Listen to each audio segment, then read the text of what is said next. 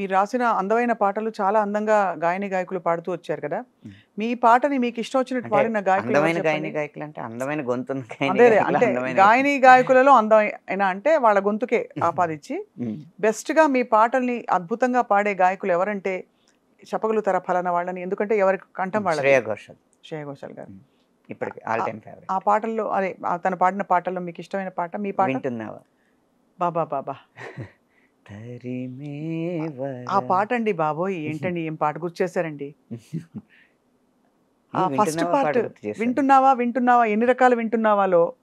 ఆ పాట విని తరించిపోయిన సందర్భాలు ఎన్నెన్ని ఉన్నాయో నాకు నేను చెప్పలేను. మీ పాట రెహమాన్ గారి సంగీతం. సంగీతం. అది తమిళ్ళో మన్నిప్పాయ అని వస్తుంది అప్పటికి నాకున్న లాజిక్ ప్రకారం సారీ థ్యాంక్స్ ప్లీజ్. ఇవి చెప్తే కనుక ప్రేమ అవ్వదు. వాటన్నిటికీ అతీతమైంది ప్రేమ అని చెప్పి తమిళ్ళో మన్నిప్పాయ అని నేను తీసుకోలేదు. మళ్ళీ వింటున్నావా అనేదే నాకు అనిపించింది అనమాట అప్పుడు రెహమాన్ గారు కూడా అడిగారు ఇందులో మన్నిప్పాయ ఎందుకు తీసుకోలేదండి మన తెలుగు క్లైమాక్స్ వేరు కదండి. క్లైమాక్స్లో కలిసిపోతారు హీరో హీరోయిన్లు. So happy ending. తమిళ్ళోనేమో విడిపోతారు. కాబట్టి ఇంక విడిపోతున్నాం కాబట్టి ఇంకా ప్రేమ లేదు కాబట్టి ఇంకా సారీ చెప్పేయచ్చు. ఇప్పుడు కలుస్తున్నారు కాబట్టి అందులో సారీకి అంత ప్రాముఖ్యత లేదనిపించి వింటున్నావాగా మార్చుకున్నాను ఇంకా. వింటున్నావా పదం వచ్చిన తర్వాత ఎన్ని రకాలుగా వింటున్నావు వింటున్నావా అని అడగడానికి అన్ని రకాలుగా మన్నిపాయే మన్నిపాయే అని అలా వచ్చిందా మన్నిపాయా మన్నిపాయా అని వస్తుంది వింటున్నావా? వింటున్నావా? వింటున్నావా ఎన్నావే వేల అంటే ఈ మీటర్స్ అన్ని మీకు ఆ టైంలో చెప్పి ఒరిజినల్ రెఫరెన్స్ ఇచ్చి రాయించారండి ఈ పాట? పాట విన్నాను. పాట విని ట్యూన్ ఇమ్మన్నాను. ట్యూన్ వర్షన్ ఉంటుంది కదా.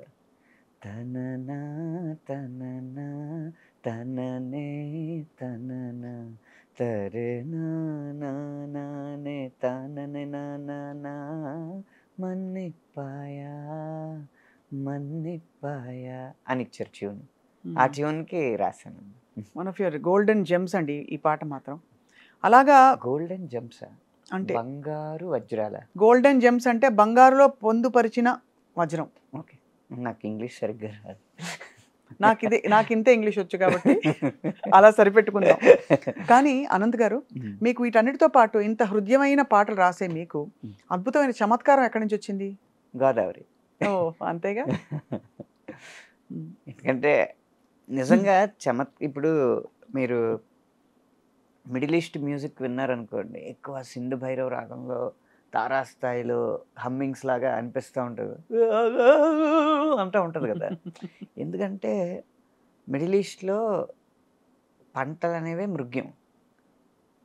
నీరు ఎప్పుడో కానీ దొరకదు. ఏదో ఆ ఖర్జూరం ఈత తింటా ఆ టైంలో అలా బతికేవారు కదా! వాళ్ళకి సరైన ఆహారం దొరకడమే కష్టం. దొరికిన ఏదో ఆ ఒంటెలను చంపుకుని ఆ మాంసాహారం తింటా రుచికరమైన ఆహారం అనేది వాళ్ళకి చాలా అరుదు. సో ఆకలి బాధలు ఎక్కువ ఉంటాయి. ఆ సంగీతం కూడా అక్కడ అలాగే ఉంటుంది. గోదావరి ఉంది. ముఖ్యంగా మా మా కడుపు నిండిన బేరం మాదైతే. డబ్బు ఉండదేమో కానీ అన్నానికి లోటు ఉండదు ఎప్పుడు ఇప్పుడు కడుపు ఖాళీగా ఉందనుకోండి దాని ఒక్కదాని మీదే దృష్టి ఉంటుంది. కడుపు నిండాక వంద వాటి మీదకి వెళ్తుంది దృష్టి. అందులో కొంచెం కారం కూడా రు- ఆ, లోటు లేనప్పుడు ఎటకారం ఒకటి బయటకు వస్తుంది. సో కారం ఎటకారం మమకారం అన్నీ ఎక్కువే మీకు. అంతేగా గోదావరి జిల్లాలో. సో మీరు రాస్తూ వచ్చిన పాటల్లో మీకు బెస్ట్ కాంప్లిమెంట్స్ అందిన పాట ఏది అంటే. తాను నేనువే కదా.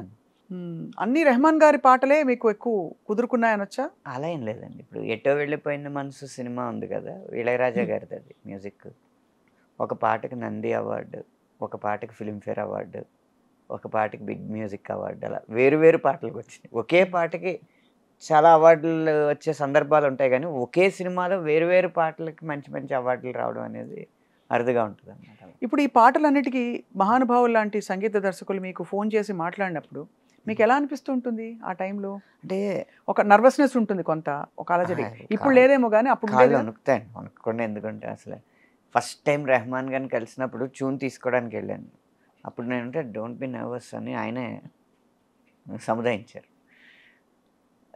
ఇళయరాజా గారి దగ్గరికి వెళ్ళినప్పుడు కాళ్ళు వణకడం కూడా కాదు మొత్తం బొట్టనేల దగ్గర నుంచి తల వరకు మొత్తం బీసిపోద్ది ఆయన కూడా చాలా ప్రేమగా మాట్లాడి అలా వాళ్ళు ఈజ్ చేసిన తర్వాతే మనం మామూలు స్థితికి వస్తాం వాళ్ళు ఆయనకి మీరు మల్టిపుల్ వర్షన్స్ వినిపించారా? ఫస్ట్ టైం అప్రూవ్ అయిపోయింది ఆ పాట? ఫస్ట్ టైం అప్రూవ్ అయిపోయినాయండి ఇళయరాజా గారి దగ్గర అంతే బాగుంది బాగుంది బాగుంది అన్నారా ఎలా. అన్నారు. కరెక్ట్గా ఉంది మంచి సౌండింగ్ ఉంది. ఎంత అదృష్టవంతులండి మీరు. అంటే ఇంతమంది. సంగీత పరిశ్రమలో ఉండడం అంటే ఎంత అదృష్టం దక్కిందంటే మీకు అరవైల నుంచి అదే డెబ్బైల నుంచి మ్యూజిక్ చేస్తున్న వ్యక్తులతో కూడా పనిచేయగలిగే అదృష్టం దక్కింది. ఇళయరాజా గారు అవ్వచ్చు విద్యాసాగర్ గారు అవ్వచ్చు. అలాగే ఇప్పుడు ఈ కాలంలో అందరినీ మెప్పిస్తున్న సంగీత దర్శకుల చేత కూడా తో కూడా తమన్ గారు అవ్వచ్చు అనిరుద్ధ్ గారు అవ్వచ్చు. అలా అన్ అన్ని వయస్కుల సంగీత దర్శకులతో పనిచేసే అదృష్టం మాత్రం నాకు బాగా. మీకు అంటే మీ మనసు సింగిల్ కార్డులు అవును సింగిల్ కార్డు. తర్వాత మీకు ఉండే గొప్పదనం ఏంటంటే ఆనంద్ గారు మీరు అన్ని తరాలతో కనెక్ట్ అయ్యే ఏంటి ఒక విజ్ఞత ఉంది మీలో ఎవరి వయసు తగ్గట్టు వారి వారితో అలా మాట్లాడడం అలవాటు నాకు. మీ వయసు ఏమిటో మా ఈ ఈ ప్రాసెస్లో మేము ఎప్పుడు పసి పసిగట్టలేకపోయాం. ముప్పై తొమ్మిది సంవత్సరాలండి దాంట్లో అబద్ధమే ఉంది. పెళ్ళి అయిపోయాక వయసు దాచుకోవడం ఎందుకు? అంతేనా? ఇప్పుడు దాచుకుని కూడా లాభం లేదు లాభం లేదు. ఏం ఏం పని అవ్వదు